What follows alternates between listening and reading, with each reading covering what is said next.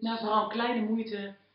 Met een kleine moeite voel je je gewoon, eh, ja, gewoon goed. Goede start en eh, ja, voelt goed. eh, nou, Esther, leuk dat ik je mocht interviewen. Ja, En, ja, ik kwam je vorige week tegen en ja, we kregen het over, over eten. Ja, jij vertelde dat je je eetgewoonte, of een van je eetgewoontes was aangepast. En eh, toen dacht ik van ja, dat is toch wel heel leuk om met de andere mensen te delen. zeker. Dus ehm, ja, vertel nog niet eh, wat je hebt aangepast, maar hoe kwam je erbij om iets aan te passen in je eetgewoonte? Hoe kwam ik erbij om iets aan te passen? Ehm, ja, vooral eigenlijk, eh, het was meer een beetje een zoektocht naar meer energie en meer eh, bewustzijn van wat je eet en eh, ja, wa- wa- wat, je, wat je binnenkrijgt in je lijf. Dat je, dus ik heb het idee dat we tegenwoordig zoveel dingen maar gewoon pakken en in ons eten doen en, eh, en opeten. Ja. Met ja, eventueel ook wel gevolgen van dien. Dat het eh, of niet gezond is of te veel eh, toegevoegde dingen zitten erin. Dus even, ik had een beetje het gevoel van ik moet even terug naar de basis. Ja. Om, om weer in mijn energie te komen. Ja. Ja, dat waren de, de, de groene smoothies, zoals, eh, zoals, eh, zoals ze heten. Dat is eigenlijk heel geleidelijk gegaan.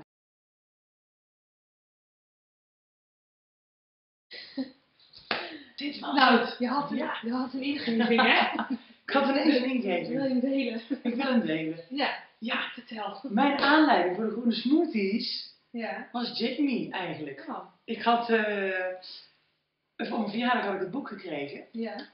En eh, ik was meer aan het kijken van nou, wat zijn allemaal lekkere gerechten die ik kan maken. En helemaal achter in het boek, Ja. ja ja, daar stonden de, de super smoothies. En dat was eigenlijk ook om je dag mee te beginnen, stond er ook. Ja. En toen heb ik een hele tijd heb ik die 's ochtends gemaakt. En op een gegeven moment ben ik er dan een beetje klaar mee, want het is een beetje eenzijdig. Heb ik ook nog de paarse geprobeerd. En kwam ik toch weer terug bij die groene. Ben ik er zelf wat dingetjes in gaan stoppen. Op internet verder gaan zoeken naar andere opties met smoothies.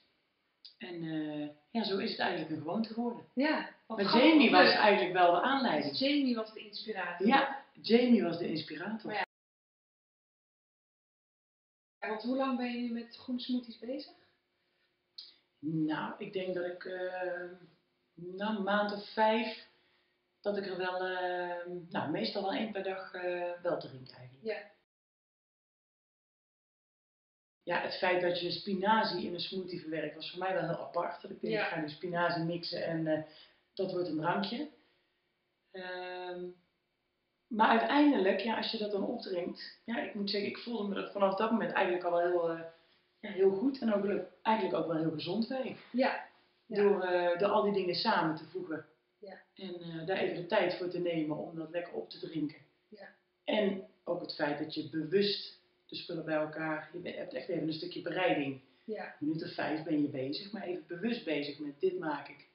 En eh, daarna iets lekkers om op te drinken. Ja. Was eigenlijk de eerste ervaring was eigenlijk al wel dat ik dacht, nou dit, eh, Ja. dit, dit past wel bij mij. Ja.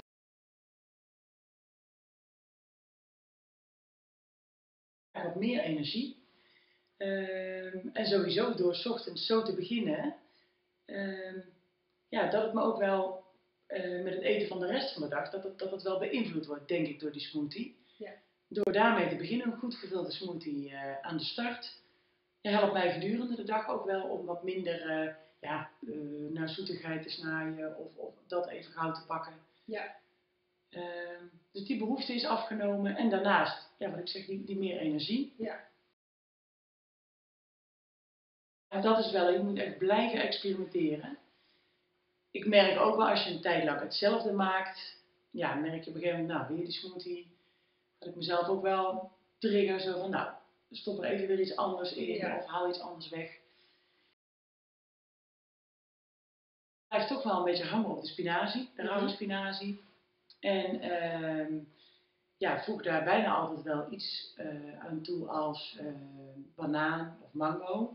Dat is wel een beetje het, eh, het, hetgeen wat het ook wel voedend maakt Ja. met de spinazie. Daarnaast eigenlijk altijd nog wel één of twee andere fruitsoorten, kiwi En bijvoorbeeld de peer is heel lekker erin. Daarnaast uh, troebele appelsap doe ik erbij om het gewoon uh, ja, vloeibaar te maken. Ja. Je kunt het een beetje een dikke, dikke smoothie maken of een dunne, net wat je wil. Ehm, vruchten, net als vijgen of dadels, kun je er ook in doen. Ik vind vijgen zelf heel lekker.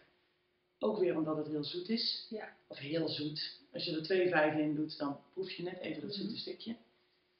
Ehm, en een blaadje munt vind ik soms ook heel lekker. Een Ja. paar blaadjes. Ja. Eh, wat limoensap kan er ook nog bij. Ja. Ben ik nog overzichtelijk. Klinkt wat nu de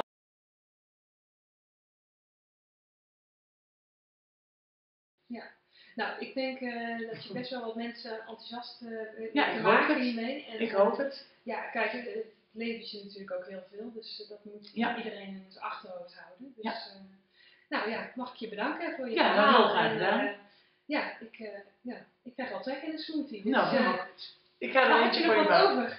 Ik heb, dus, ik heb toevallig, vandaag was lunch smoothie gemaakt. Ja. Dus ik heb nog wat, eh, ik heb er nog eentje staan voor je hoor. nou ga ik even proeven. Helemaal goed. Ja. Nou. Oké.